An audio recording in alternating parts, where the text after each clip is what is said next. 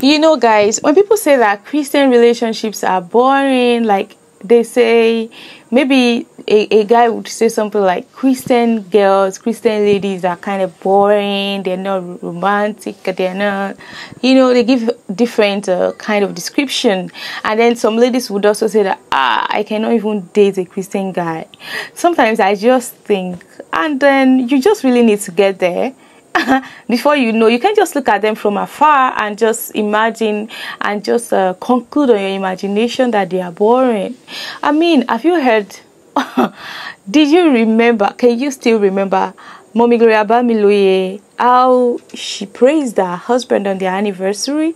Can you guys still remember? If you have not i just want to use this video to remind you. I would like you to watch this video to the end and uh, you would get what i'm trying to say. And i would like to encourage you as well that it's good to date a christian. It's good to marry a christian. Christian dating is sweet. Christian marriages are wonderful. You have a peace of mind. If god is in the midst of your home man like, hmm, you know, our God is light.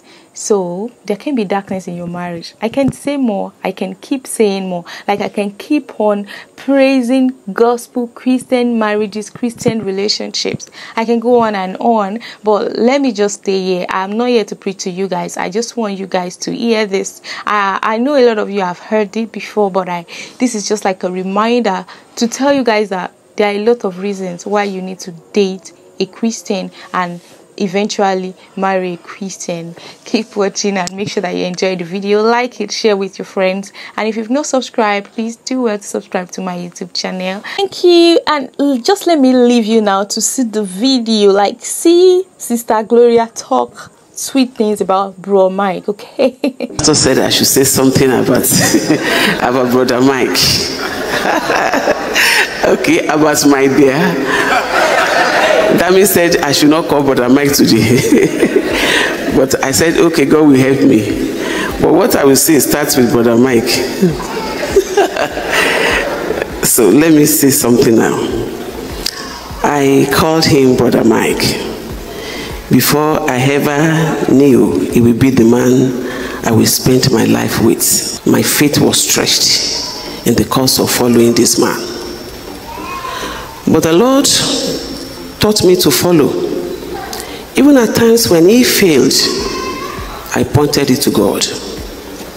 The Holy Spirit will still encourage me to keep following. Really, it has not been easy following Mike.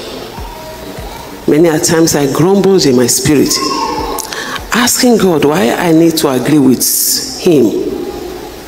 I mean, Brother Mike, on everything when I'm not stupid but he has always told me that is where your wisdom is. Today, I'm starting to testify before God and all his children that I have no regrets at all following my. Thank you.